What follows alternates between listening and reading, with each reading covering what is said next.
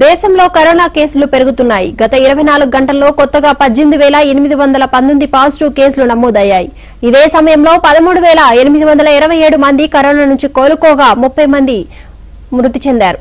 దేశంలో యాక్టివ్ కేసుల సంఖ్య మరోసారి లక్షను దాటింది. ప్రస్తుతం దేశంలో ఒక లక్ష నాలుగు వేల ఐదు వందల యాభై ఐదు యాక్టివ్ కేసులున్నాయి తాజా కేసులతో కలిపి దేశంలో ఇప్పటి వరకు నమోదైన కేసుల సంఖ్య నాలుగు కోట్లకు పెరిగింది.